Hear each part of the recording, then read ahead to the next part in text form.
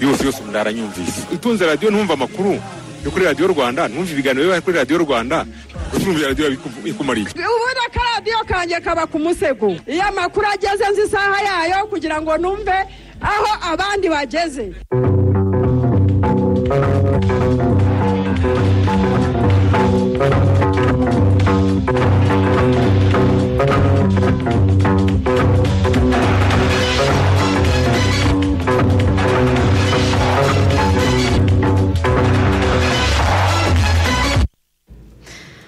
Turabasuje mwese kandi tubaye ikaze mu makuru ya radiyo rwanda agiye kwibanda kuri izi ngingo.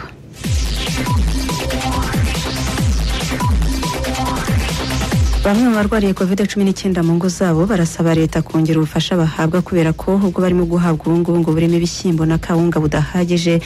Abenshi barifuza uburyo bwo kubona uko bagura imbuto n'imboga. Mu gihe umugabane wa afurika gihanganye n'ikibazo cyo kubona inkingo za covid cumi n'icyenda inzego z'ubuzima mu rwanda ziragira inama buri wese kugenzura imyitwarire ye ishobora kuba intandaro yo koreka ubuzima bwe n'ubw'abandi. Nyuma y'iminsi itanu hatangiye umwaka mushya w'ubwisungane mu kwivuza wa bibiri na makumyabiri na rimwe bibiri na makumyabiri na kabiri. Ikigo cy'igihugu cy'ubwiteganyirize rssb kiratangaza ko abamaze kwishyura iyi misanzu ya mituweli do sante bageze kuri mirongo ine na bane ku ijana. Hanze y'u rwanda tanzania yatangaje ko irimo gusuzuma uburyo bazatangira mu minsi iri imbere kwikorera inkingo za covid cumi n'icyenda mu rwego rwo kugabanya ikiguzi byabatwara mu kuzitumiza hanze aho zikorerwa mu bindi bihugu. Laurent gbagbo wahoze ari perezida wa cote d'ivoire yabonanye na perezida wa repubulika iharanira demokarasi ya congo felix antoine tshisekedi chilombo baraganira bwana gbagbo ari muri icyo gihugu cya congo kinshasa kuva mu mpera z'icyumweru tuvuyemo. Ubuzima busanzwe bwongeye kugaruka mu bwami bwa eswatini bwahoze bwitwa swaziland. Nyuma y'imyigaragambyo ikaze yabaye mu cyumweru gishize aho abayitabiriye bashyamiranye n'abashinzwe umutekano igwamo abantu ndetse inangirikiramo imitungo itandukanye basabaga ko umwami muswati wa gatatu abaviraho akegura. Ubuyobozi bwa sosiyete igenzura umuyoboro wa suweze bwumvikanye n'ubwo bwato bwa evergreen bw'abayapani kugira ngo babashe kuva muri uwo muyoboro uherereye ahanini mu gice cya misiri twigeze gufunga icyumweru cyose mu kwezi kwa gatatu uyu mwaka. Turaza kubabwira n'amakuru y'imikino ntimujye kure. Ngewe nitwa nyirarukundo xavera uri kumwe nanjye jean daniel sindayigaya. Ni amakuru ayobowe na feridina w'imana mu kanya turaje tuyarambure. Icyorezo cya covid cumi n'icyenda gikomeje gukaza umurego.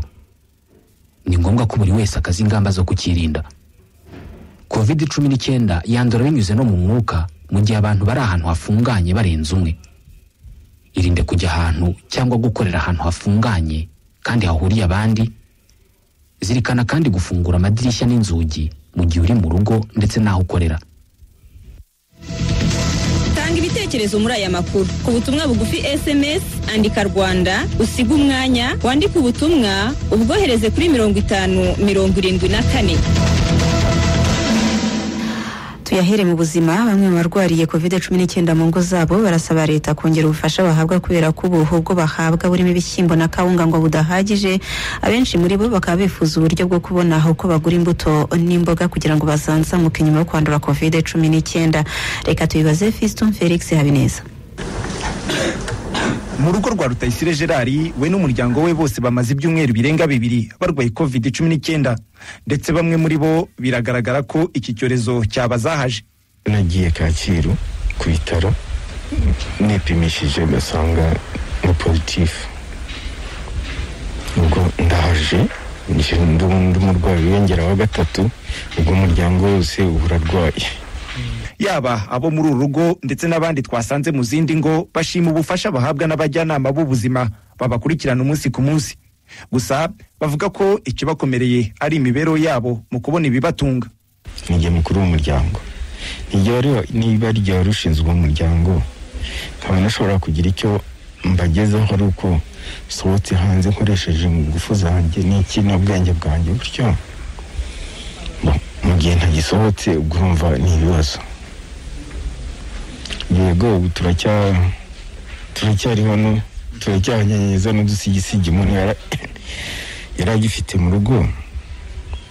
Ariko ejo ntawe uzi ko byagenda gute. Habaho ikibazo cy'ubukene kuko akazi karahagaze. Ndi kwibaza ahantu nzakura n'amafaranga y'inzu no kurya byose. Abaturanyi nta ngaba mfite nibo bamfashe. Kugera tungorwa n'imbuto n'udusupu. Ibyo rero ni iby'abantu bifite. Nubwo hari abaturage bamfashije babiri bazituzanye nabo ndabashimira. Bakazirambika hariya natwe tukagenda badakora ko nta muntu wageraga hano abajyanama b'ubuzima n'abaturanyi b'aba barwayi bavuga ko babafasha uko bashoboye. Hari aho ugera rero ugasanga umuntu ararwaye ntajya mu kazi ariko batanatetse. Ubwo rero iyo bimeze gutyo turagenda tugakora ubuvugizi kwa mudugudu ushinzwe imibereho myiza tukareba ba bantu basanzwe ari intwarane. Tukabahamagara tukababwira ngo dufite ikibazo kimeze gutya bakegeranya ibintu twegeranyije umuceri ibishyimbo amafaranga imbuto tujya kubagurira imbuto mbega abadafite uko bameze.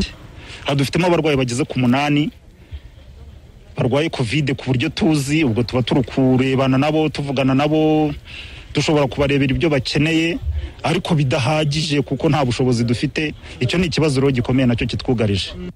Minisiteri y'ubuzima ivuga ko kugeza ubu abarenga mirongo icyenda na gatanu ku ijana by'abarwayi ba covid cumi n'icyenda barwariye mu rugo kandi ko ifatanyije n'izindi nzego abarwayi bitabwaho uko bishoboka binyuze mu nzego z'ibanze.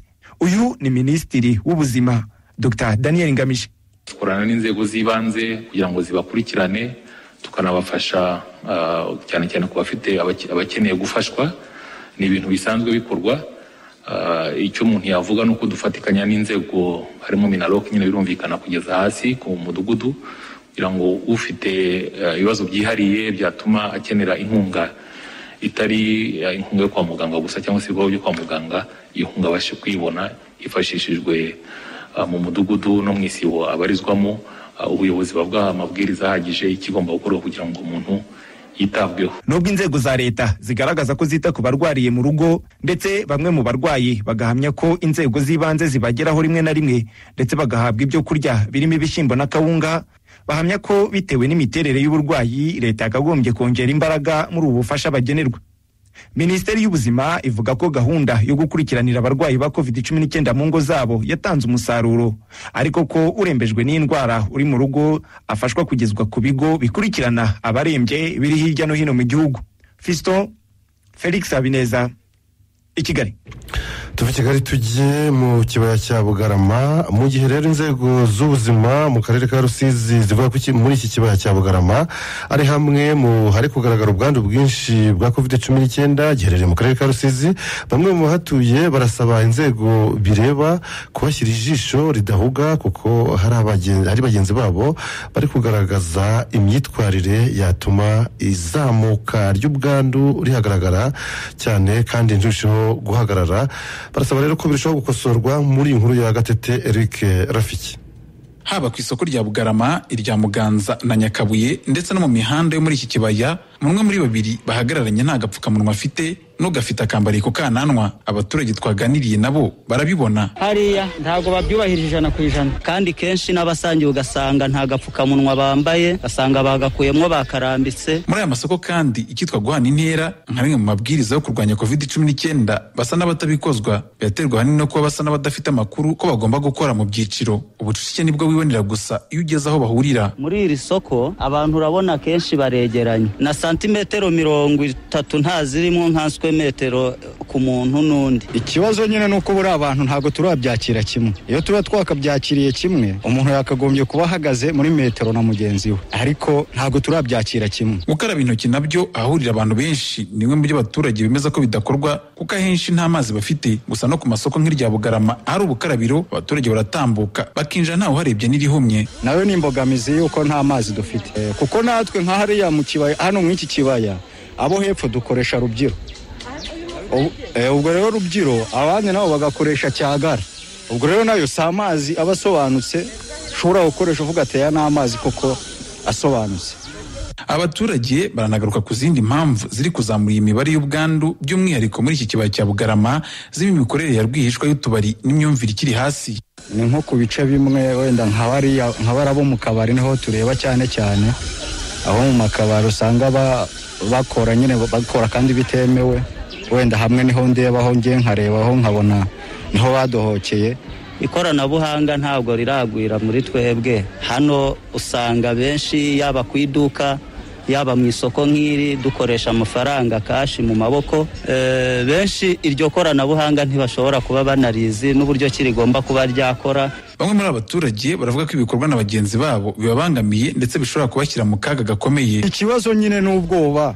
Ubwoba bwo ntabwo bwabura. Kuko kumva ngo umuntu runaka w'umudugudu yarwaye twese turaduhungabana buri wese ubyumvise ukumva ari kujugumira. Umuyobozi w'akarere ka rusizi kayumba efuremu aravuga ko iki kibazo nabo kibahangayikishije nk'ubuyobozi. Icyakora ngo hari icyo bari gukora mu kugikemura. Kugarama nk'uko bivuze eh, ni ahantu muri iyi minsi twerekeje amaso kubera ibyago byo kwandura bihari. Nanibutsa ko twagize ibyago ejo twatakaje umuntu muri kariya gace yazize kovidi Eh, ariyo mpamvu rero eh, mu by'ukuri tugira ngo abaturage ubwabo bumve ko bagomba kugira uruhare mu kwirinda. Rero muri minsi turabona ko hari ibintu byinshi bihuza abantu mu bugarama. Cyane cyane gusarura umu- umuceri kujya kuwanika ndetse n'amasoko ya hariya hepfo ni ibintu bihuza abantu. Ariyo mpamvu dusaba ko abahagarariye abahinzi eh, abayobozi b'amasoko abayobozi b'inzego z'ibanze tugomba kumenya neza ko ahantu hahurira abantu hari ibyangombwa bihagije byo kwi- byo kwirinda. Ni ukuvuga biriya rusange byo gukaraba ariko ni ukumenya gukurikirana nyine ko eh, ababirengaho nkana eh, tubabona tukabigisha ndetse abo bibaye ngombwa tukabahana. Ikibaya cya bugarama ni hamwe mu hantu mu karere ka rusizi usanga urujya n'uruza rw'abantu benshi kubera ibikorwa bitandukanye bihakorerwa byiganjemo iby'ubuhinzi n'ubucuruzi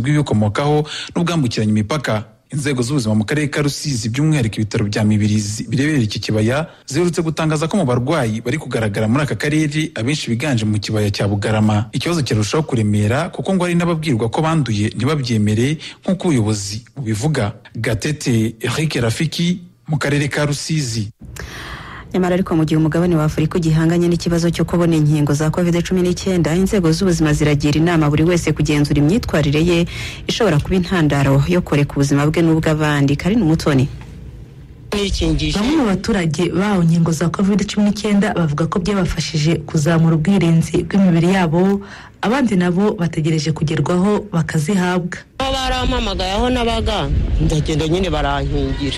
Numva nyine bizamfasha kugira ngo mbe nicaye nizeye ko nikingije nubwo yanamfata wenda sindembe cyane. Buri kanya mba numva kuri radiyo bavuga abantu ba- barwaye bavuga hari igihe bavuga bapfuye urumva rero ko umuntu agomba kwitwararika. Twifuza nyine tuzakingirwa kugira ngo tubone ubudahangarwa mu mubiri wacu. Ntabwo baradukingira ntabwo barabitubwira mu mudugudu. Wacu ngo ba- ba- badushyire ku zo ku murongo minisiteri y'ubuzima ivuga ko kugeza tariki ya kane z'uku kwezi abantu ibihumbi magana atatu mirongo icyenda na kimwe n'abantu magana cyenda mirongo itanu na bane ari bo bari bamaze guhabwa inkingo za covid cumi n'icyenda. Perezida wa repubulika paul kagame avuga ko hari icyizere cyo kubona inkingo mu gihe cya vuba. Muri iyi minsi tugiye kubona izindi nkingo zidufasha kongera ubwirinzi bw'umubiri duhereye ku barusha abandi ibyago byo kwandura covid. Turifuza n'uko zigera ku banyarwanda benshi. Uko bizagenda bishoboka. Ariko mu rwego rwo kwigira turakora ibishoboka byose ngo twubake ubushobozi bwo gukora inkingo n'indi miti mu rwanda. Ibi bizagabanya guhora twiringiye imiti ituruka hanze y'igihugu. Itabonekera igihe cyangwa itangwa hagendewe ku zindi nyungu. Ishami ry'umuryango w'abibumbye ryita ku buzima oms rivuga ko imibare y'abandura covid cumi n'icyenda kuri uyu mugabane imaze ibyumweru bitandatu izamuka cyane ndetse ubwoko bwa covid cumi n'icyenda buzwi nka delta bukaba bumaze kugera mu bihugu cumi na bitandatu byo kuri uyu mugabane. Intumwa idasanzwe y'umuryango wa afurika yunze ubumwe ishinzwe ibijyanye no kugura inkingo za covid cumi n'icyenda srive masiyiwa avuga ko umugabane wa afurika ukomeje kugira ikibazo gikomeye cyo kubona inkingo We've got an extraordinary situation with the third wave. ibihugu bifite ubushobozi bwo kwikorera inkingo ni byo birimo kugena uburyo inkingo ziboneka. Icyo bishyira imbere ni ukubanza guha inkingo abaturage babyo mbere y'uko zijya ahandi. amabwiriza arebana n'inkingo ndetse n'ibyo zikorwamo na yo agenda arushaho gukazwa. Strive Masiyiwa avuga kandi ko imisanzu bimwe mu bihugu byemeye gutanga muri gahunda ya COVAX kugira ngo haboneke inkingo zikenewe bitarayitanga kugeza ubu. Ibi ngo bituma inkingo miliyoni magana arindwi zagombaga guhabwa ibihugu bya afurika mbere y'impera z'uyu mwaka hamaze kuboneka iziri munsi ya miliyoni mirongo itanu. Bamwe mu baturage bavuga ko mu gihe inkingo zitaragera kuri bose abantu bagomba kubahiriza amabwiriza arebana no kwirinda icyo cyorezo. Tubahirije amabwiriza n'ubundi turimo twaba turimo kujya ahandi habi turimo twaba turi kwijyana ariko twaba turimo gukwirakwiza nyine icyorezo twese urumva ko igihugu nyine cyaba gihombye nyine twapfa tugashira. Kwambara agapfukamunwa neza gushyiramo intera hagati y'umuntu na mugenzi we. Kandi ntibindebe nge ngenyine buri wese muri rusange bikaba bitureba. Twubahirije ingamba ibi bihe bibi turimo twabivamo. Kandi mu by'ukuri twese bidufitiye akamaro. Oms ivuga ko mu gihe inkingo zikomeje kuba ikibazo kuri uyu mugabane imibare y'abandura covid cumi n'icyenda mu cyumweru gishize yiyongereye ku kigero cya mirongo itatu na rimwe ku ijana. Ni mu gihe imibare y'abaremba bagakenera umwuka wa ogisijeni iyo yazamutse ku kigero cya mirongo itanu ku ijana ugereranije n'igihe cy'inkubiri ya mbere y'iki cyorezo. Iri shami rishinzwe ubuzima rigaragaza ko muri afurika abaturage miliyoni cumi n'eshanu ari bo bamaze guhabwa doze zisabwa z'urukingo rwa covid cumi n'icyenda bangana na rimwe n'ibice bibiri ku ijana by'abatuye uyu mugabane bose. Karine umutoni i kigali. Ubwo tuvuga ku by'iki cyorezo cya covid cumi n'icyenda kandi muri iyi minsi iki cyorezo cyibasiye u rwanda ndetse n'isi muri rusange abaturarwanda baributswa ko ingamba zashyizweho ziramutse zitubahirijwe uko bikwiye maze imibare y'abandura igakomeza kuzamuka. Ingamba zikarishye zishobora gufatwa.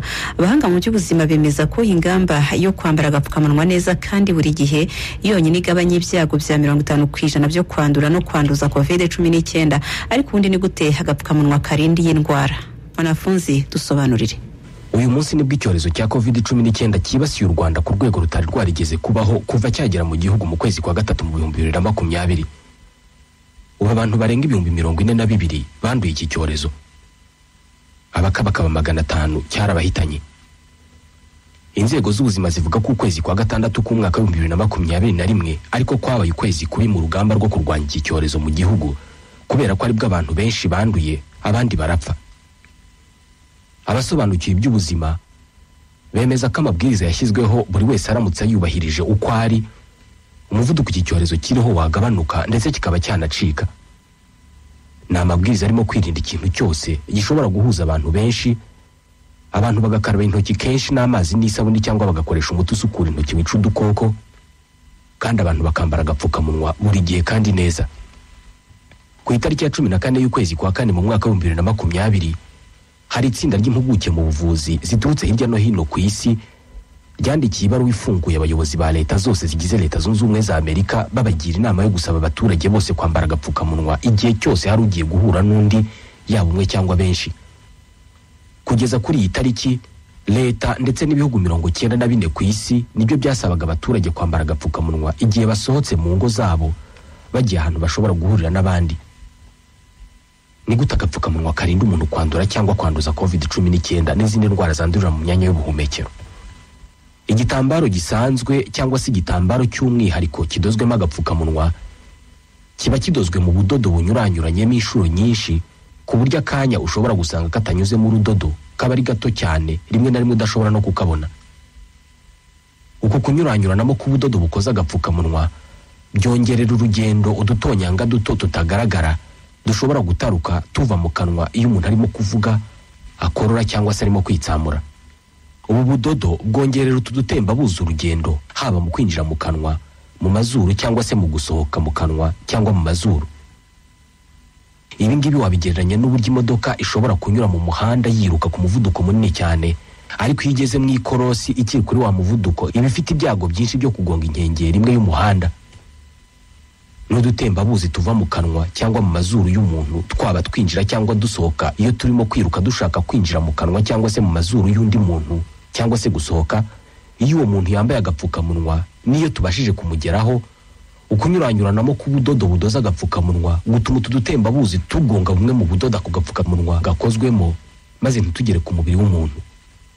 Ibi bisobanuye ko uko agapfukamunwa gakozwe n'ubudodo buto cyane bunanutse ariko kaba gafite ubushobozi bwo kurinda indwara zandurira mu myanya y'ubuhumekero. Kuva mu kwezi kwa kane k'umwaka w'ibihumbi bibiri na makumyabiri leta y'u rwanda yasabye abaturarwanda bose kwambara udupfukamunwa n'amazuru igihe cyose bagiye ahantu bashobora guhurira n'abantu benshi. Ni kimwe mu bikoresho byafashije guhangana n'ikwirakwira ry'ibyorezo byandurira mu myanya y'ubuhumekero atari na korona virusi yonyine. Ku birebana na korona virusi byageze mu mpera z'ukwezi kwa gatatu mu mwaka w'ibihumbi bibiri na makumyabiri ishami rya loni rishinzwe ubuzima rikibwira abantu ko kwambara agapfukamunwa bikwiye gukorwa gusa n'umuntu urwaye cyangwa se uwita ku murwayi. Iki gihe byari bitaramenyekana ko hari abantu bashobora kuba bafite coronavirus ariko batagaragaza ibimenyetso. Iki gihe kandi impuguke mu by'ubuzima ntabwo zari zizi urwego umuntu utagaragaza ibimenyetso ashobora kwanduzaho. Aya makuru yose aho amenyekaniye abantu bose bahise basabwa kwambara agapfukamunwa n'amazuru. Coronavirus yarimo iracika intege mu bushinwa ariko irimo kumara abantu mu butaliyani no muri leta zunze ubumwe za amerika n'ahandi mu burayi. Hari umushakashatsi mu by'ubuzima muri kaminuza ya san francisco y'amajyepfo witwa jeremy howard wanditse muri washington post agaragaza inkuru z'uburyo kwambara agapfukamunwa byagabanije cyane iki cyorezo mu bihugu nka korea y'epfo hong kong na taiwan. Iki gihe yavuze ko kwambara agapfukamunwa ku bantu bose byonyine bigabanya ikwirakwira rya coronavirus ho mirongo itanu ku ijana. Ubwo mirongo itanu ku ijana isigaye iri mu gukaraba intoki kenshi no kwirinda kwegerana. Abashakashatsi bo mu kigo cya leta zunze ubumwe za amerika gishinzwe ubuzima bakoresheje imirasire ya gihanga ifite ubushobozi bwo kugaragaza utuntu duto cyane ubusanzwe tutaboneshwa amaso masa. Imirasire bise laser light bashaka kureba ingano y'udutembabuzi dusohoka mu kanwa k'umuntu iyo afunguye umunwa avuga ijambo cyangwa se udusohoka mu kanwa no mu mazuru iyo yitsamuye cyangwa se akoroye atambaye agapfukamunwa. Iyi mirasire cyangwa se ubu bwoko bw'urumuri bumurika udutonyanga duto cyane tw'amacandwe dutaruka iyo umuntu avuga ikagaragaza ibihumbi by'utu dutonyanga duto dupima mikoro ziri munsi y'eshanu dutaruka iyo umuntu avuze byonyine. Hari ubwoko bw'ingombajwi umuntu avuga utu dutonyanga tugasohoka ari twinshi cyane. Muri ubu bushakashatsi bwanashyizwe mu mashusho bigaragara uburyo niyo batezeho igitambaro gisanzwe twa dutonyanga duhagarara tutageze ku muntu uri hafi aho ngaho muri metero irenze imwe. Ibi ni igihe umuntu avuze byonyine. Noneho iyo akoroye cyangwa se arimo nko kuririmbira ahantu hafunze utu ducandwe cyangwa se udutembabuzi tuba twinshi cyane. N'intera utu dutonyanga tugenda irahinduka bitewe n'uko umuntu yambaye agapfukamunwa cyangwa se atakambaye. Ku muntu wambaye agapfukamunwa n'iyo hagize udutonyanga tumuvamo tugacika agapfukamunwa tukagenda. Ntabwo turenga metero imwe n'igice. Mu gihe iyo utakambaye dushobora no kugera muri metero eshanu. Ibi biri mu nyandiko yasohowe n'ikinyamakuru cyitwa the conversation. Abantu bose baramutse basobanukiwe ko agapfukamunwa gashobora kurinda coronavirus gukwirakwira. Igihe cyose izacikira burundu abantu bashobora no kuzatora umuco wo kwambara agapfukamunwa. N'igihe barwaye ibicurane bisanzwe bitewe n'uko agapfukamunwa karinda abantu kwandura no kwanduza icyarimwe. Uyu munsi noneho byanamaze kumenyekana ko iyi virusi igenda no mu mwuka. Ingingo ituma abantu bose basabwa kwirinda ahantu hafunganye kandi hahuriye abantu begeranye. Igihe abantu bari mu nzu cyangwa se mu modoka barasabwa gufungura inzugi n'amadirishya. Ibi bigakorwa buri gihe hirindwa ko hagira umuntu n'umwe udohoka. Ismail mwanafunzi turagushimiye cyane. Hari ibitekerezo byatugezeho biravuga kuri aya makuru turimo kubabwira baravuga ikijondanye maxime baragira bati ni ukuri abagizweho ingaruka bitewe no kurwara ni ukuri ntiharebwa icyakorwa bafashwe kubona ikibatunga umunsi ku munsi gusa birakwiye ko twese dukaza ingamba zo kurwanya covid cumi n'icyenda kuko ni icyorezo gikomeje gutwara ubuzima bw'abatari bake. Yoramu musha gisagara abarwayi ba covid badafite ubushobozi bwo kugura imbuto ntiharebwa uko bazajya babona ibibatunga. Kandi turashimira abajyanama b'ubuzima ndetse n'abaturage bafasha abo barwayi. Mvukiye sereverien atuye mageragere.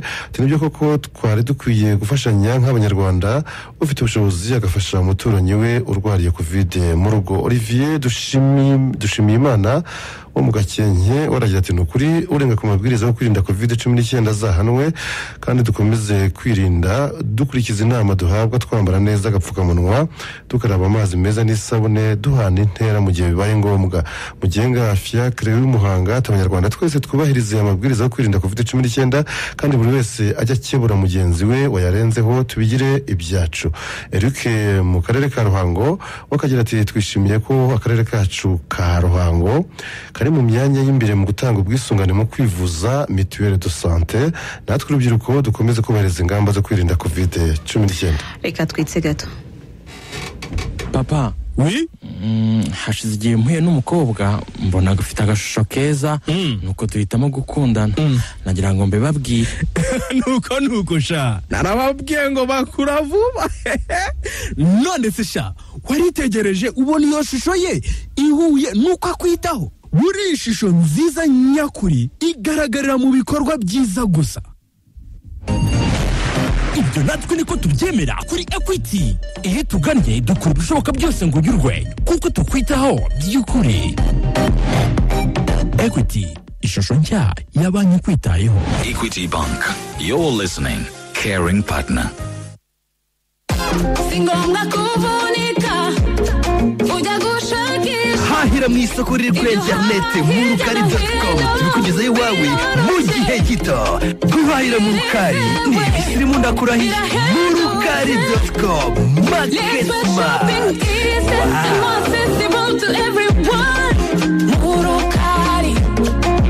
murukari tugendane na koje bank koje bank mu rwego rwo gushimira abakiriya bayo. Iri gutanga ibihembo ku bakoresha konti zayo mu buryo bw'ikoranabuhanga. Itirengagije n'abifuza kuyigana ari ubwa mbere. Bitsa amafaranga kuri konti yawe koresha imiyoboro y'ikoranabuhanga ya koje bank mobile banking application kojem bank n'amakarita koje bank mastercard cyangwa smart cash. Maze ubumwe mu banyamahirwe bazajya begukana ibihembo. Birimo za moto televiziyo amagare n'ibindi. Amategeko n'amabwiriza birakurikizwa. Koje bank biroroshye kandi birashoboka.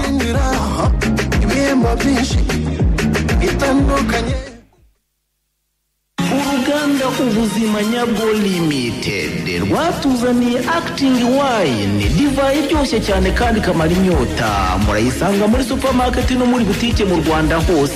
Abakeneye kurangura ni nyabugogo kwa kashikashi no kwa fande i rwamagana ku isoko ni kwa nshimiye i kayonza ni kwa twahirwa no kwa sindayigaya kabarondo ni kwa damascene no kwa iyamuremye nyakarambi ni kwa nzeyi kwa evode no kwa mama grace. Ku rusozi ni kwa mama bizi kiramuruzi ni kwa albert. Rwagitima ni kwa gadi. Kabarore ni kwa mama gasaro no kwa inyase. Cya nyirangengeni ni kwa bisangwa. Naho karangazi ni kwa kwini no kwa karemera. Rwimiyaga akitingi wayini murayisanga kwa mama gisele. Matimba ni kwa emmanuel naho i nyagatare kwa ngoga ni kwa mutarambirwa no ku isoko kwa bari hamwe. Telefone ni zeru karindwi umunani umunani mirongo itatu na karindwi mirongo inani na rimwe zeru gatatu. Tunywe mu rugero. Ikindi ariko akitingi wayini nticuruzwa ku bari munsi y'imyaka cumi n'umunani kandi si nziza ku bagore batwite. Uri umworozi wabigize umwuga. Kandi uzizi neza n'amazina yazo maye cyangwa ino hano bero kimazi nk'ayibogo nkundasha ariko tukuzi neza cyane natwe kuko imirimo ukora ari ingenzi cyane kuri twese. Kuri equity tukwijeje kugushyigikira mu bihe byose kugira ngo wungukirwe n'ubworozi bwawe birenze urugero. Tukwitaho. By'ukuri. Equity. Ishusho nshya ya banki ikwitayeho Equity Bank. You're listening. Caring partner. Farming is in my blood. My family has worked the land for generations. Watching the fruit ripen still fascinates me, but it's a tough industry. So I started a company introducing modern business thinking to Rwandan firms. With Dubai.com, we find good partners, customers, and infrastructure. And today, we employ 1,200 people and continue to grow together. I'm Fred Rugigamba, Director of Operations at Souk Firms. Trade beyond with Dubai.com. D U B U Y, your e commerce platform for trade. Nyuma y'ako karuhuko dukomeze n'aya makuru ya radiyo rwanda avugwa mu ijoro ryo kuri uyu wa mbere tariki ya gatanu nyakanga bibiri na makumyabiri na rimwe. Nyuma y'iminsi itanu hatangiye umwaka mushya w'ubwisungane mu kwivuza wa bibiri na makumyabiri na rimwe bibiri na makumyabiri na kabiri. Ikigo cy'igihugu cy'ubwiteganyirize rssb kiratangaza ko abamaze kwishyura imisanzu yose ubu bageze kuri mirongo ine na gatatu ku ijana. Inkuru irambuye na jean paul turatsinze. Mba ndumva ari byiza kuko iyo ushoborwa ukabutanga bigira umumaro kandi abamaze kwishyura imisanzu y'ubwisungane mu kwivuza y'umwaka w'ibihumbi bibiri na makumyabiri na rimwe ibihumbi bibiri na makumyabiri na kabiri bavuga ko bumva batekanye kuko baramutse batunguwe n'indwara kwivuza bitabagora. Urabona nk'iyo ugize ibibazo urwaye cyangwa urwaje bigira umumaro muri kwa kwisungana ugasanga bigiriye umumaro umuryango. Ni na yo mpamvu umuntu aba agomba kugira umwete wo ku- wo kubutanga kugira ngo n'umuryango cyangwa nawe ubwawe guteganya kugira ngo ugize ikibazo buze kugufasha. Kwitanga kare ni ngombwa kuko hari igihe urwara ukabura amafaranga bikaba ngombwa yuko wagurisha n'isambu kugira ngo ubashe gutanga mituweli. Ugomba rero kuyitanga mbere hakiri kare kugira ngo umuntu nu- nufatwa n'uburwayi uhite ujya kwa muganga ukivuza nta kibazo. Nta kibazo rwose kuko nanasikaye najya kwa muganga. Ku rundi ruhande abataratanga iyi misanzu bavuga ko bafite ubwoba ko batungurwa n'uburwayi bakananirwa kwivuza. Umwaka cumi narabutanze ariko ubu ngubu ntabwo ndawutanga bitewe n'uko eh, icyorezo cya kovide cyagezeho ingaruka ingaruka yo kubona amafaranga na yo ntabwo nimenya kuyabona neza.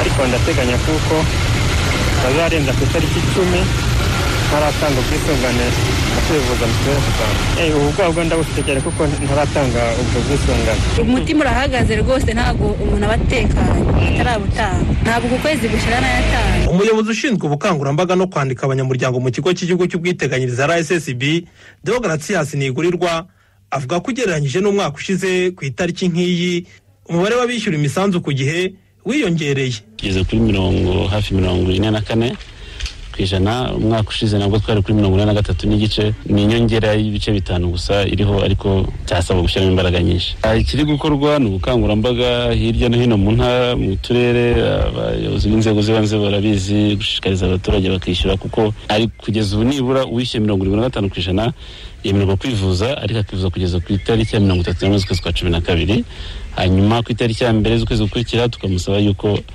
yatanga makumyabiri na gatanu ku ijana asigaye kugira ngo abashe gukomeza kwivuza. Umwaka ushize w'ibihumbi bibiri na makumyabiri ibihumbi bibiri na makumyabiri na rimwe warangiye abishyuye ubwisungane mu kwivuza ari mirongo inani na gatanu n'ibice icyenda ku ijana. Akarere ka gisagara ubu kari ku mwanya wa mbere mu gutanga ubwisungane mu kwivuza kagakurikirwa na nyaruguru ndetse na ruhango. Ku mwanya wa nyuma haza kicukiro ibanzirizwa na nyarugenge ya makumyabiri n'icyenda rusizi ya makumyabiri n'umunani na gasabo ya makumyabiri na karindwi. Jean paul turatsinze radiyo rwanda i kigali. Turagushimiye cyane jean paul turatsinze. Nyuma y'uruzinduko rw'akazi yagiriye muri afurika y'epfo mu kwezi gushize minisitiri w'ububanyi n'amahanga w'u rwanda akagirana ibiganiro na mugenzi w'afurika y'epfo. Ubu hari intumwa z'iki gihugu na zo ziri i kigali mu rwanda ndetse ibi ngo bikaba bishimangira ko ibihugu byombi birimo kongera ingufu mu mubano wabyo. Reka twerekeze amaso noneho kuri iyi nkuru y'abaturage bubakiwe inzu zo kubamo bakaba bavuga ko ibi ari ukwibohora kwa nyako bava mu bukene.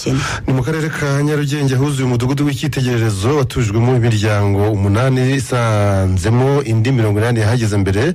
Ubu rero ubuyobozi bw'akarere ka nyarugenge bukavuga ko gutuza neza abatishoboye ari ukubafasha kwibohora. Bya nyabyo bakiteza imbere. Bienvenue redamutusi ni umudugudu watashywe kuri uyu wa mbere ugizwe n'inzu umunani muri imwe cyangwa se 18 one watujwemo imiryango umunani yongeye ku yindi mirongo inani yari hasanzwe abahatujwe bemeza ko leta ibakuye mu mibereho yari ibagoye. Mbere ndashimira imana. By'umwihariko ndashimira perezida wa repubulika. Nyuma y'imyaka makumyabiri n'irindwi uyu munsi aran- yaranzirikanye. Ampaye inzu yo kubamo. Ampaye amasaziro. Ndashimira ingabo za fpr zaturokoye iyo zitandokora simba nkiriho ndibohoye ntushobora kubyumva. Sinzi aya marira ntabwo ari ay'agahinda nta gahinda mfite. Dufite ubuyobozi budukunda. Mbese ni ibyishimo kuvuka kwa kabiri. Ndishimye cyane. Nari maze imyaka ngahe yose ni mu bwage ncumbitse banteragura hejuru. Ariko nkaba nishimye nkaba ngiye mu nzu nk'iyi ya etaje imeze gutya. Rwose ndishimye cyane. Iyo birenze kwibohora ubu nkubwire nanjye ubu ngubu ngiye gufata ingamba nshya. Ingamba nshya n'abo turi kumwe n'abo duturanye twumvikane tukaba tugendana neza mu iterambere mba nishimye. Byarandenze nkimara kumva iyi nkoma makuru ko bampawe inzu. Namaze nk'iminsi nk'ingahe ntasinzira. Ndishima ndanezerwa. Burya umunezero wica nk'umubabaro sinzi. Nari mu buzima bugoye nkahora nimuka ngahora ndi mu bibazo by'inzu na ba nyir'amazu. Bikambabaza cyane. Nishimiye no kubona iyi nzu uyu munsi kuko uyu munsi wo kwibohora bitewe nanone n'ibyo inkotanyi zankoreye ahantu navuye ndokowe none n'uyu munsi nkaba ariho nongeye kubona ibyiza nanone nkaba mbonye ibyiza byabo na byo. Akarere ka nyarugenge kagaragaza ko kuri ubu abagatuye kane n'ibice bitandatu ku ijana ari bo bakiri munsi y'umurongo w'ubukene. Umuyobozi nshingwabikorwa w'ako karere ngabo nziza emi yemeza ko gushakira amacumbi abaturage batishoboye ari inzira ibafasha kwibohora ubukene. Kwibohora nyakuri eh, ni ukugerageza gukora ibishoboka byose ngo ufate ibyari ikibazo ubibyazemo ibizima cyangwa ibyiza. Kandi mu rugendo rwo kwibohora nyuma ya jenoside yakorewe abatutsi imaze guhagarikwa ni urugamba rwo kwibohora rumaze kurangira icyari gikurikiyeho ni ugukomeza kubaka igihugu. Uyu munsi wa none turimo guhangana eh, no ku n'ikibazo cy'ubukene. Ubona batarabonerwa amacumbi ni bakeya. Nabo turateganya yuko tuzabubakira muri iyi ngengo y'imari twatangiye eh, muri uku kwezi kwa karindwi. Umudugudu wa rugendabare wuzuye muri uyu murenge wa mageragere watwaye miliyoni zigera kuri magana atandatu n'imwe z'amafaranga y'u rwanda. Bienvenue damu tusi radiyo rwanda i kigali. Arakoze bienvenire damutusi dukomeze kuri iyi nkuru warukomejeho mu kanya xavera. Hari itsinda riturutse muri minisiteri y'ububanyi n'amahanga muri afurika y'epfo riri mu rwanda mu ruzinduko rw'akazi. Minisiteri y'ububanyi n'amahanga mu rwanda ikaba yatangaje ko uruzinduko rw'izi ntumwa ari ikindi kimenyetso cy'uko ibihugu byombi byiyemeje gushimangira umubano wabyo. Uru ruzinduko ruje rukurikira urwo minisitiri w'ububanyi n'amahanga w'u rwanda dr. Vincent biruta yagiriye muri afurika y'epfo mu ntangiriro z'ukwezi kwa gatandatu akagirana ibiganiro na mugenzi we w'icyo gihugu ni dr. Naledi Pa- pandoro icyo gihe abaminisitiri bombi bahuye kugira ngo basuzume uko umubano w'ibihugu byombi u rwanda na afurika y'epfo uhagaze ndetse no gukemura ibibazo bikigaragara ko bibangamiye imibanire myiza hagati y'ibihugu byombi. Abaminisitiri bagaragaje ko ibihugu byombi byari bifitanye umubano mwiza mbere yo gucika intege muri bibiri na cumi na gatatu. Mu biganiro byeruye ni ukuvugisha ukuri bagiranye icyo gihe. Abaminisitiri bombi biyemeje gushyira imbaraga mu kongera gushimangira umubano nk'uko perezida Cyril Ramaphosa na perezida Paul Kagame w'u Rwanda babigaragaje mu biganiro hagati y'ibihugu byombi. Minisitiri Dr. Vincent Biruta na mugenzi we Dr. Naledi Pandor bakaba bavuze ko ubufatanye bwuzuye hagati y'ibihugu byombi mu nzego zitandukanye buzafasha mu iterambere ry'imibereho myiza n'ubukungu. Hemejwe icyo gihe ko hazashyirwaho ingamba zo kuyobora umubano w'ibihugu byombi mu nzira nshya igamije inyungu za guverinoma n'abaturage ba afurika y'epfo n'ab'u rwanda kugira ngo ariko ibyo byose bigerwaho neza bumvikanye ko ibihugu byombi bigomba guha agaciro no kubahiriza amategeko n'amabwiriza mpuzamahanga agenga umubano hagati y'ibihugu harimo n'ubusugire bw'igihugu.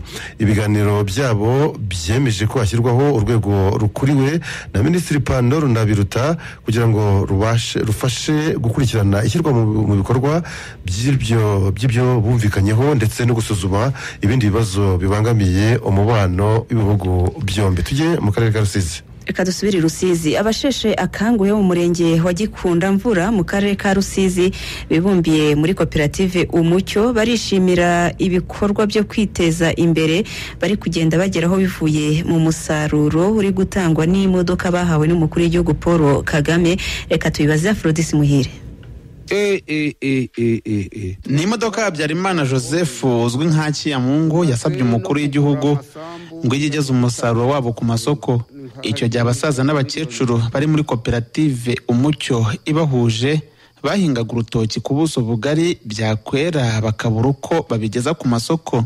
Bidatinze umukuru w'igihugu yaje kubaha iyo modoka. Ni ikamyoneti ifite ubushobozi bwo kwikorera toni nka zirindwi. Kuri ubu ikoreshwa imirimo yo gutunda umusaruro w'imyaka y'abaturage iwujyana ku nganda no ku masoko. Amafaranga imaze kwinjiza niyo yaguzwemo ingurube za kijyambere zisaga magana abiri maze zihabwa abanyamuryango bayo. Busonyo Theophile umwe mu bahawe ingurube avuga ko yitegerejeho kumuteza imbere nibwagura akagurisha ibibwana. Iyi ngurube icyo nyitezeho ni cyinshi. Ubu nimara umwaka izaba imaze kumpa byinshi. Urabona ko ubu nk'uko nababwiraga iri ku gaciro katarasi ibihumbi mirongo inani. Buriya mirongo inani bishatse bahita babima. Nimara ku- ku- kubwanura ubwo izanteza imbere. N'aka gapariseri kaza kameze neza ndetse nubake n'amazu ubundi umurage wanjye mwiza. N'ibyishimo byinshi habyarimana joseph hakiyamungu avuga ko uruhare rw'imodoka mu iterambere ryabo ari ntagereranywa ngo bari kwiga uburyo yajya inatwara ibicuruzwa bijyanywe hanze y'u rwanda bityo amafaranga yinjiza akarushaho kwiyongera. Tumaze guha abanyamuryango ingurube magana abiri. Tumaze no kugura amasambu ya hegitari eshatu zirenga. Ni nka hari igihe yinjiza nka miliyoni eshatu eshatu n'igice kubera gutwara umuceri niwo ukunze gutwara gusa. Usibye ko ubu twaguye amasoko. Twaguye amasoko none igiye kuzajya ikora byinshi kuko twaguye isoko ryo kujyana imyaka i bukavu no kuzajya iterura imyembe iyijyana igisenyi kimwe no gutwara indimu izijyana za gisenyi na kigali kwa bamutangana gutyo. Ubwo twaguye amasoko yayo twariyuburuye kubera ko twabohowe ubu koperative umucyo ntigihinga urutoki kuko rwaje gucika bitewe no kwanga ubutaka bw'igikundamvura barusimbuje indimu na zo zifite isoko ahatari hake. Abanyamuryango bayirimo nabo bariyongereye bava kuri magana atatu na mirongo ine none ubu bageze kuri magana atatu mirongo inani. Afrodisi muhire i rusizi. Turagushimiye cyane afrodisi muhire tugaruke ku bya covid cumi n'icyenda. Polisi y'u rwanda kuri uyu wa mbere yerekanye abantu cumi n'icyenda bagizwe n'urubyiruko rw'abasore n'inkumi. Aba bafashwe ku mugoroba w'ejo ku cyumweru bitegura gukorera mugenzi wabo ibirori by'isabukuru y'amavuko. Polisi y'u rwanda ikorera mu karere ka nyarugenge niyo yabafatiye mu murenge wa rwezamenyo kubera amakuru yahawe n'abaturage. Babonaga urwo rubyiruko rw'abasore n'inkumi rwarenze ku mabwiriza yo kwirinda ikwirakwira ry'iki cyorezo. Uko ari cumi n'icyenda bafatiwe mu rugo rw'uwitwa mugabo debon wari wujuje imyaka mirongo itatu y'amavuko. Ari nawe wari wateguriwe ibyo birori. Akaba yavuze ko urwo rubyiruko rwari rwaturutse mu bice bitandukanye by'umujyi wa kigali ngo bashaka kumutungura cyangwa se kumukorera surprise. Umuvugizi wungirije wa polisi y'u rwanda ni csp apollo afurika Sendaha- sendahangarwa akaba yavuze ko polisi itazahwema kugenzura uko abantu bubahiriza amabwiriza yo kurwanya covid cumi n'icyenda. Abafashwe uko ari cumi n'icyenda baganirijwe ku kubahiriza amabwiriza yo kwirinda iki cyorezo nyuma ariko bashyikirizwa inzego zibishinzwe kugira ngo banatange amande cyangwa se bacibwe amande. Reka twitse turaje.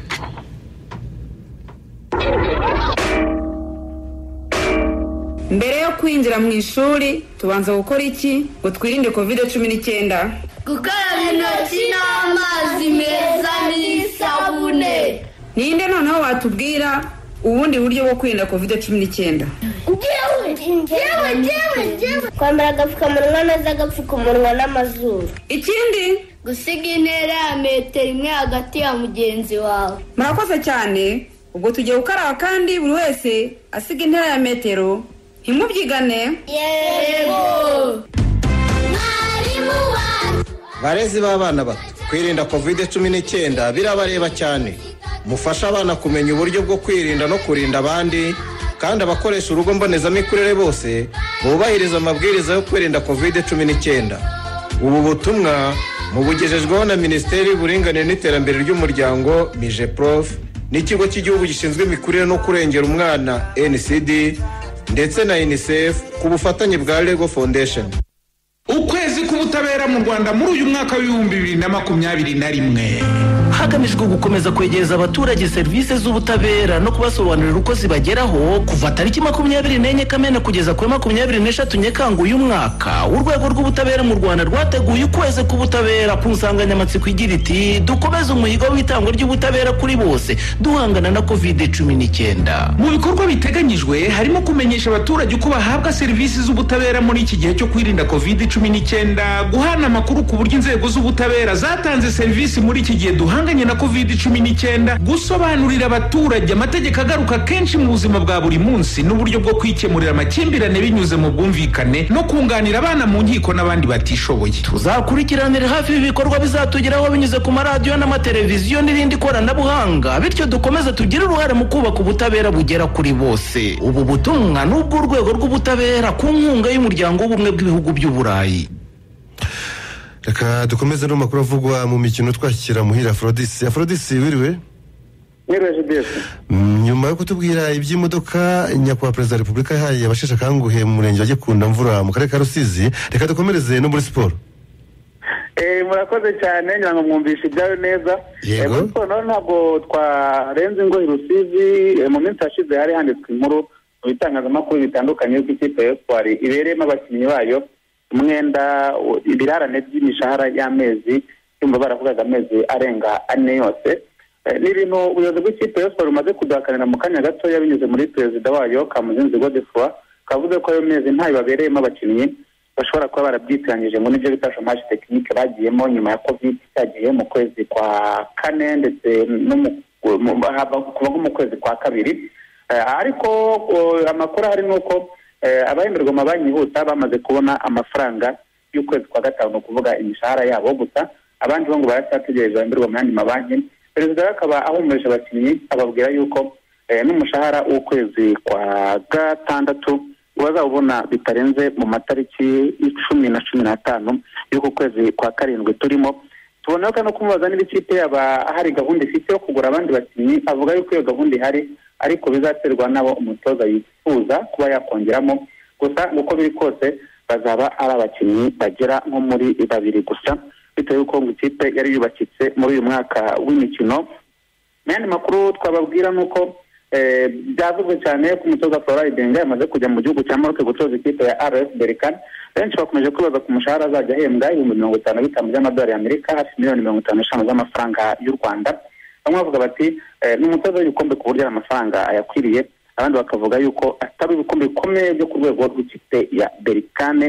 Mu yandi makuru hari nuko oh, mu gihugu cy'ubwongereza byatangiye guhuzuzwa yuko abafana bazaza kureba imikino ya shampiyona igihe izaramuka itangiye ubwo twageze ku mugabane w'uburayi. Imikino izatangira mu kwezi kwa munani mu ntangiriro zako mu byumweru bibanza. Abafana ngo bashobora kuzaza kureba umupira ku bibuga biturutse ku byo minisitiri w'ubwongereza ari butangaze mu kanya gato bijyanye na korona virusi ngo byitezwe ko hashobora kuvanwaho imbogamizi zose zatumaga abafana bataza ku mupira. Bityo rero kikaba cyaba ari kimwe mu bintu byanezeza bamwe mu bafana kuza kureba imikino ku bibuga bari bamaze igihe batabona. Aha mu bwongereza kandi amerika yabaye rutezamu ukomeye w'ikipe ya chelsea yagiriye inama uwitwa kiriyan mbappe yuko niba ashaka gutwara ibikombe ndetse birimo na za barondo cyangwa se umupira wa zahabu ngo yava mu ikipe ya paris saint germain agashaka ikipe iyo ari yose yakwerekezamo ariko ikomeye yo muri esipanye cyangwa se mu gihugu cy'ubwongereza ko yavuze ko ku myaka ya mbappe ari umuntu eh, ugifite byinshi imbere byo kuba yageraho ariko atakiri mu ikipe ya paris saint germain amagambo na yo ashobora kutaza kwakirwa neza cyane. Ku munsi w'ejo kimwe cya kabiri cy'igikombe cy'uburayi kizatangira hariya mu gihugu cy'ubwongereza imikino yose izabera i wembure ahangaha rero hakaba hategerejwe umukino w'ubwongereza n'igihugu cya denmark imibare ikaba igaragaza ko ubwongereza bwose bufite amahirwe menshi kuba bwatsinda umukino ariko bishingiye ku mateka ya kera. Niko kandi igihugu cya ubutaliyani kizakina na esipanye bonucci yatangiye gusa n'ushimashima morata rutayizamu ikipe y'igihugu ya esipanye avuga ko ari we mukinnyi mwiza cyane. Ibi ngibi bazi umupira w'amaguru biba bifite icyo bisobanuye gutya. Hanyuma andi makuru ari kuvuga cyane nuko ikipe ya tottenham na chelsea ngo zaba zihanze amaso bikomeye cyane uwitwa pianik unakinaga mu ikipe ya fc barcelona ni umwe mu bakinnyi barisa izarekura akajya kwishakishiriza ahandi muri uyu mwaka w'imikino tottenham na chelsea ngo zaba zimwifuza nyuma yo kuba bamukuye mu ikipe ya juventus yagera mu muri chelsea muri paris saint germain na muri barcelona mumbabarire ntabone umwanya uhagije wo kuba yakina Griezmann na Dembele barimo barashinjwa kuba bavuze amagambo y'irondaruhu eh, ku mukozi wa hoteli imwe mu zo bacumbitsemo mu gikombe cy'uburayi mu mikino bakinnye uwo rero ngo akaba akomoka ku mugabane wa aziya bamubwiye amagambo y'irondaruhu ku buryo ari ibintu bishobora kuza gukurikiranwa jide ndumva n'abanditsi aho ngaho andi makuru arambuye akaba ayo muri gahunda zacu zitaha. Ijoro rihire afrodesi muhire. Namwe mugire ijoro rihire. Reka duhite dufata n'akaruhuko mbere yo kujya mu makuru arebana n'imikino. Ihuriro ry'ibigo by'abikorera bari mu mwuga w'iby'amashanyarazi mu rwanda. Energy private developers epd ryiyemeje kudukura mu kizima. Ritugezaho amashanyarazi akomoka ku mirasire y'izuba ahendutse maze yimika umucyo n'umutekano kandi atangije ibidukikije. Iyi mirasire tuyibyaza umusaruro rero abana bigire ku rumuri rukeye rubarinda indwara z'amaso n'izindi zikomoka ku myotsi tuyifashishe mu bikorwa bibyara amafaranga bityo imibereho yacu irusheho kuba myiza. Sisiteme y'imirasire y'izuba yujuje ubuziranenge mwayikura muri bamwe mu banyamuryango ba epd nka bbox na mobisol cyangwa ku bagenti b'ibi bigo ndetse no ku murenge sako muri porogaramu ya cana uhendukiwe iyi sisiteme kandi igizwe na pano insinga batiri n'amatara nibura atatu. Ibi bikoresho bikorwamo n'inzobere gusa. Wowe bigirira isuku ariko wirinde kubicokoza kugira ngo udateza impanuka. Sobanuza kurushaho kuri zeru karindwi mirongo inani n'umunani mirongo itatu na rimwe zeru kane mirongo itatu na kane. Ubu butumwa mubugejejweho na inaji purayiveti developazi epd ku bufatanye na reg ntabwo hari mu makuru y'imikino dusubiyemo ahubwo tugiye mu makuru avugwa hanze y'u rwanda twakira didasi ribizi kazi didasi wiriwe jidesi na savera yego turanzikira he? Turahera mu gihugu cya tanzania cyatangaje ko kirimo gusuzuma uburyo kizatangira mu minsi iri imbere kwikorera inkingo za covid cumi n'icyenda. Ni mu rwego rwo kugabanya ikiguzi byabatwaraga mu kuzitumiza hanze aho zikorerwa mu bindi bihugu. Byavuzwe n'umunyabanga uhoraho muri minisiteri y'ubuzima muri tanzania profeseri abel makubi wavuze ko ngo iki gihugu gifite abahanga benshi mu by'ubuzima ngo bashobora no gukora izi nkingo za covid cyangwa se n'izindi z'izindi ndwara zitari covid. Ku ya cumi na karindwi ukwezi kwa gatanu uyu mwaka ni bwo perezida wa tanzania samia suluhu hasani yakiriye raporo ya komite yihariye yashyizweho mu kwezi kwa kane uyu mwaka kugira ngo isuzume ko covid cumi n'icyenda yifashe muri icyo gihugu inatanga inama ku bijyanye na yo n'icyakorwa. Iri tsinda niryo ryagiriye inama tanzania yo gushaka uburyo yatumiza inkingo za covid cumi n'icyenda ariko zikajya zihabwa abaturage ku bushake bwabo. Hagati aho ariko muri iki gihugu rero mu gihe hagisuzumwa ko hatangizwa urwo ruganda rukora inkingo za covid cumi n'icyenda iki gihugu cyavuze ko hagati y'ukwezi kwa cumi na kabiri uyu mwaka n'ukwa mbere k'umwaka utaha inkingo za mbere z'iki cyorezo cya covid zizaba zageze muri tanzania. Mu yandi makuru rora bagibo wahoze ari perezida wa cote d'ivoire yabonanye na perezida wa repubulika iharanira demokarasi ya kongo felix antoine kisekedi baraganira. Bagibo uri muri repubulika iharanira demokarasi ya kongo kuva muri izi mpera z'iki cyumweru. Yari yaragiyeho gutaha ubukwe bw'umuhungu wa jean pierre bemba witwa jean emmanuel bemba. Uyu jean pierre bemba na rora bagibo bamenyaniye irahe mu buhorandi aho bombi bari bafungiye muri gereza y'urwo rukiko. Muri ubwo bukwe ni ho rora bagibo yabonaniye na perezida antoine kisekedi kuko nawe yari yabutashye maze baraganira. Gusa nta byinshi baganiriye ngo uretse ko kisekedi yaboneyeho gusaba rora bagibo ko bazongera bakabonana bakaganira birambuye. Biteganyijwe ko bagibo wageze i ku wa gatanu w'iki cyumweru gishize ngo azataha ku wa kane w'icyumweru uh, gitaha ni ku ya munani z'uku kwezi kwa karindwi. Mu yandi makuru ni uko ubuzima busanzwe bwongeye kugaruka mu bwami bwa iswatini bwahoze uh, bwitwa swazilandi ni nyuma y'imyigaragambyo ikaze yabaye mu cyumweru gishize aho abayitabiriye bashyamiranye n'abashinzwe umutekano imyigaragambyo ikagwamo abantu benshi ndetse ikanangirikiramo imitungo itandukanye. Ibihugu biri muri leta zunze ubumwe za amerika ubwongereza n'umuryango w'ubumwe bw'i burayi byasabye ko habaho ibiganiro byihuse hagati ya guverinoma n'abigaragambya. Byamaganye urugomo rwakozwe muri iyo myigaragambyo bisaba ko hakorwa iperereza maze abayijanditsemo bakijandika muri urwo rugomo n'imvururu bakabiryozwa n'amategeko. Abigaragambya barasaba ko ubwami bucika muri icyo gihugu. Abayobozi bakajya bajyaho binyuze mu matora ya demokarasi aho hanashize igihe umwami musuwati wa gatatu atagaragara muri rubanda. Bikavugwa ko yaba yarahunze ubwami bwe. Imyaka mirongo itatu n'itanu niyo yari amaze ku ngoma.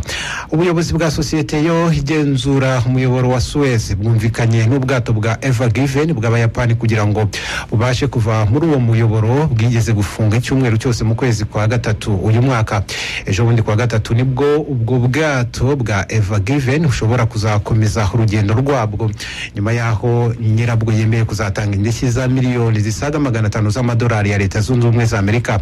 Amasezerano y'ubwumvikane hagati y'impande zombi ateganya ko ubuyobozi bw'umuyoboro wa suez buzahabwa miliyoni magana abiri na mirongo ine z'amadolari kandi akazabanza gutangwa mbere y'uko ubwo bwato bw'abayapani buhaguruka. Izindi miliyoni magana atatu z'amadolari zisigaye zikazishyurwa mu bice mu gihe cy'umwaka.